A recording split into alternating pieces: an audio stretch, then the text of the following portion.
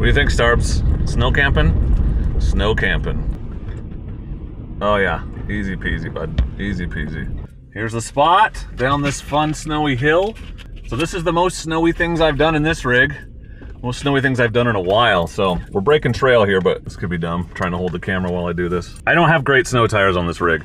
I've been waiting to come out on a trip like this and have it suck to justify buying new ones. What do you think, Starbuck? Is it time to buy new ones? Not yet, that was too easy. Damn it.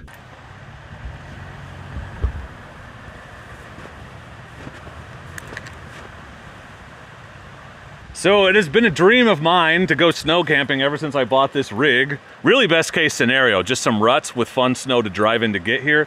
And then just around the loop here was actual wet snow to play around in. And now we're camping in the snow and the rain. The setup is simple. Love this awning. Good purchase. Uh, the river is right there. Ducfan's rig is in front. And then in the back, I have modified this slightly. I closed it because the stupid dog was jumping in there, which she might try to do again. But I got rid of the elevated platform because as some of you rightly pointed out, it was kind of uncomfortable being that close to the ceiling. And I don't really like being on display, like right in front of the window, so I made it into a half platform, added the net on top for random stuff, and we're gonna try this setup. Um, the Exped fits perfect. I made this sleeping platform to level it out. It's really, it's just a three quarter inch piece of plywood with carpet around it, and it levels it out with the front of the back, so with this sleeping pad, you don't even notice it, but that's the setup for tonight. One downside to this setup, I don't have a dedicated spot for the dog unless she gets up on top of that platform, but she won't. She's gonna lay on top of me, so we'll see how uncomfortable that is and revise as we go, because the whole point of this rig was to be able to take her places, so I need to have room for her.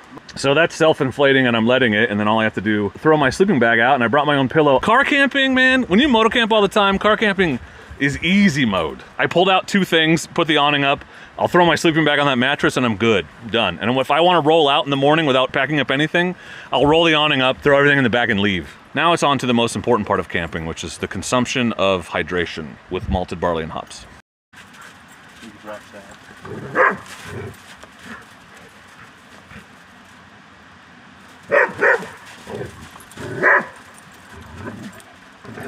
You know that Arrested Development when, George Sr. makes those VHS tapes of his kids fighting and sells them as boy fights? We should do that. Dog fights. You know you're in a badass snow spot when a minivan drives by on the road you came in on. Not sure you could get down here though. Well, you could get down here. Not sure you could get out. So we knew from the forecast there was going to be spurts of crap weather. That was a big rain burst that just stopped right when I turned the camera on. But it's supposed to be better tonight and then suck in the morning, so getting out of here is not going to be great. That's the point of winter camping. You can't wait till it's a perfect day. Right, Starbuck? Right. You going, Murph? There's a big pool down there just waiting for you, bud. Kind of gorgeous here, though.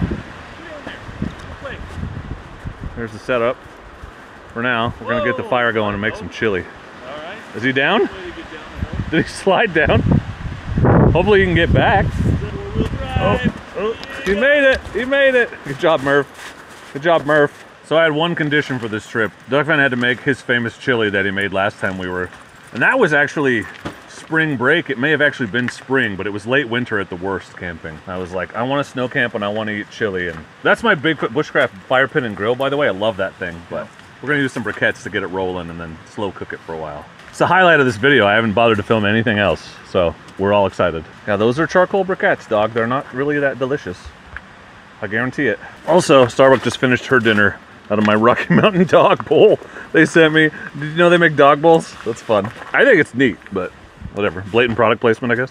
Looks like it's ashing up a little. Nope, lies. it went out. I blew on it. Sorry. I'll stop. Uh...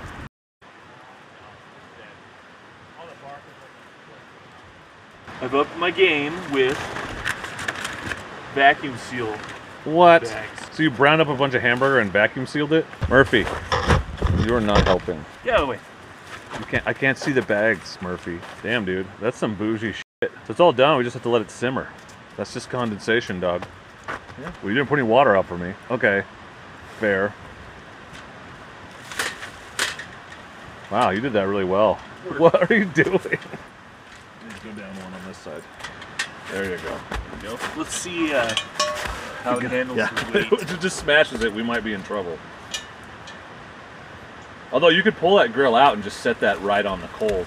We didn't use the fire pit because it's soaked and full of crap and snow. So, and it wasn't close enough to the awning. We just want to be able to get over the awning if it gets wet.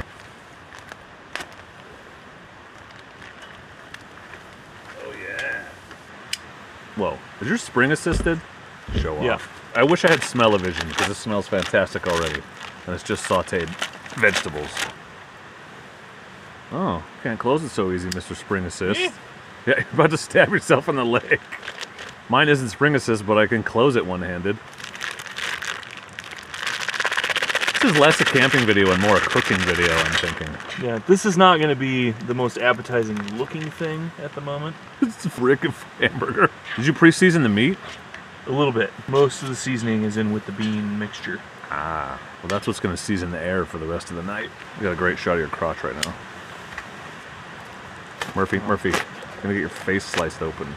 We we know what the people want. Your wife is the people. Nobody else wants that. I promise. All the good juice is at the bottom, dude. You gotta get that out. Man, this is way different than just opening up a ton of cans like last time. A little tomato sauce. Some diced, and some crushed. All flavorful though. Oh yeah. Use 11 herbs and spices to season that. Roll that beautiful bean footage. What's campfire cooking without a stick or a pine needle? Pine in needle? Fir needle. The only thing better than amazing chili is amazing chili when you're camping in the snow next to a river and smoking a cigar with your friend and your dogs. That's gonna be pretty good. I could smell it. It Guaranteed. smells amazing. So we're just partaking in other vices as we wait for it to. Uh, it's cooked, but like you know how much better chili is when you just let it simmer for a long period of time. So my wife's chili is the best chili I've ever had, but Ducfan's chili is pretty good. So we figure we'll let it simmer for the length of, of Mr. Puff Puff. Anyway, I don't. There's not much to report. It's gonna be a short video, but it's cold. Um, I got my feet wet, tromping around in the snow, so I'm trying to dry them off by the fire. I put some wood on top of the charcoal. We put the dogs in the 4Runners so that they can get warm and chill out for a bit because they're both tired from all the wrestling and very wet. And that's where we're at right now. And in a bit, we're gonna have chili. So camping.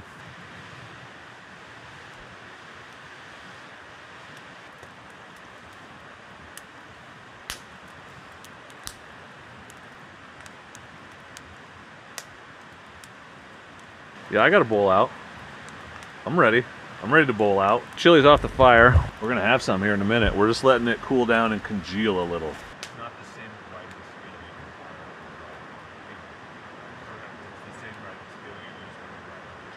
We got some chili. We got some cheese.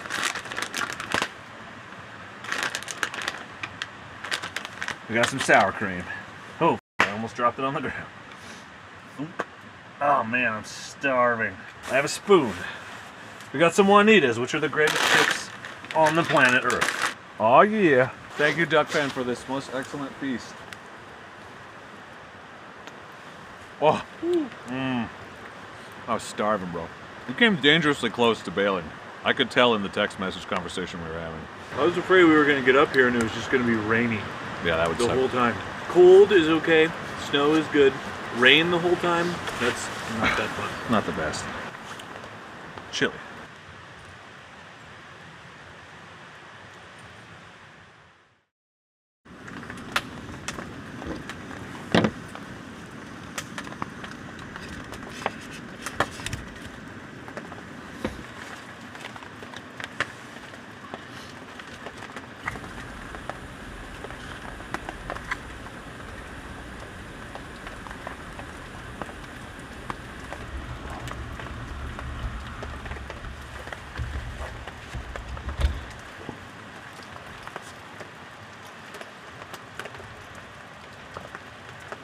This is the blooming process.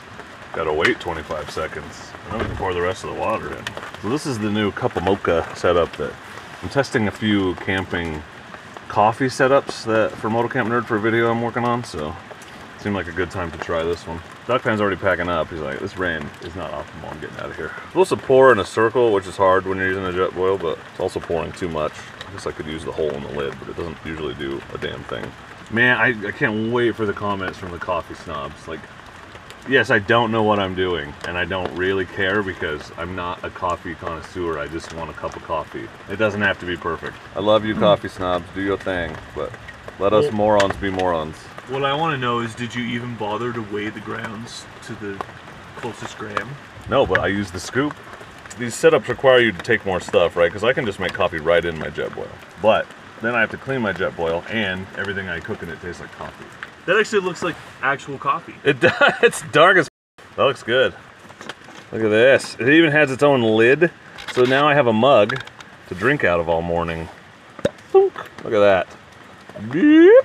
Delicious. The best part about this is I can just drive home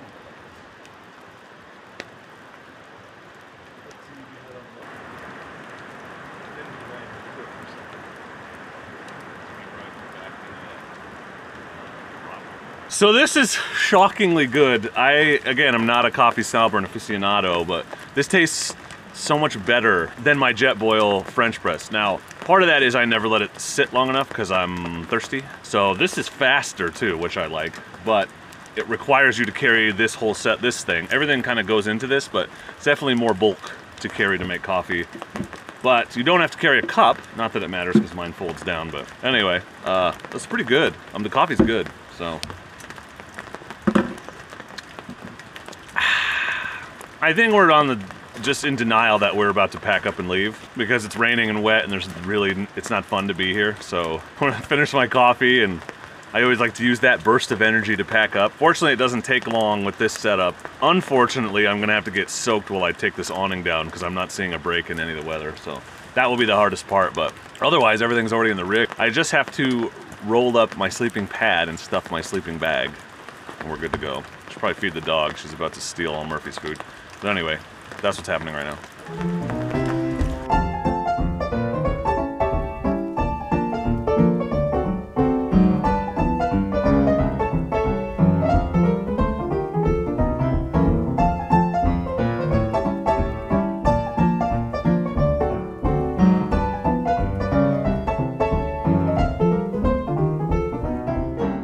Only took like four minutes to put that up. That's not bad. So that thing is soaked and it's gonna have to get dried off when I get home, but there's nothing we can do about it.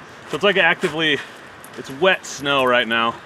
So we're gonna head home, uh, get out of here, have a little fun on the snowy road. But thanks for coming along on this admittedly short video, non-moto camping adventure. But it's always nice to get out in the snow and hang out with Ducfan and the dogs. So hopefully you enjoyed that. Uh, don't forget that uh, if you want to pick up any of the gear I use, you can do that by using my affiliate links and support the channel at the same time. Doesn't cost you any extra, and you get the satisfaction of knowing your purchase helps support dorky motorcycling and camping shenanigans. Thank you to my channel members and patrons who make content like this possible. Thank you to Ducfan for being here and suffering in the cold with me. But we're gonna head home, get warmed up, and let our dogs destroy the inside of our rigs. So for now, and as always, I just want to say thank you very much for watching, and please do not forget to be excellent to each other. Oh, thank you.